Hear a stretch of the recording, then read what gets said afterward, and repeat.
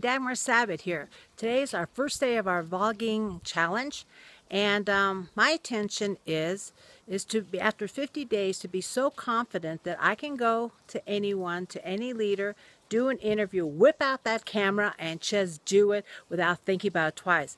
It may sound strange to you, but I've already done a whole bunch of videos. But after I looked at them, I said, ah, this is not really good. Ah, oh, this really doesn't have content.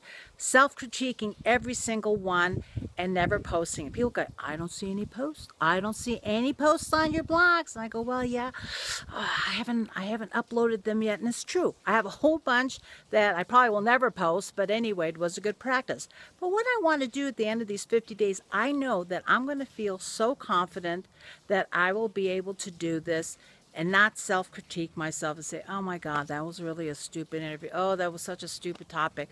I don't want to feel like that. I want to be good. I've always been really good at whatever I've ever tackled. This is a new field for me. I love it. I just don't have the confidence yet to go ahead and do with it. But I know after whipping out my camera for 50 days in a row, I'm going to get pretty damn good at it or else something's wrong with this picture. But I know I'm not alone. There's a lot of us out here. There's a lot of women that have never stepped out of the comfort zone. I've seen a lot of our women in our super women's group just absolutely hit it.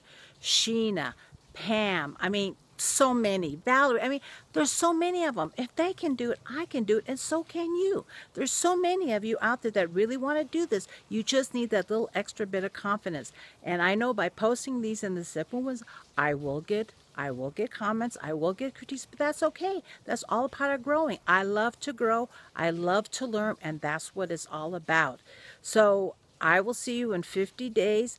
I'm going to be pretty damn good things. I'm going to have a lot of videos and I know I'm going to get so good. It's just going to be awesome. And that's what I'm going to do. And actually I have to do this too because I start a lot of projects. Lately I haven't been finishing a lot.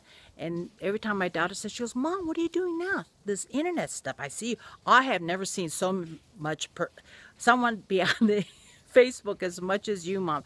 It is really weird. I can't believe that. Are you making any money at this yet?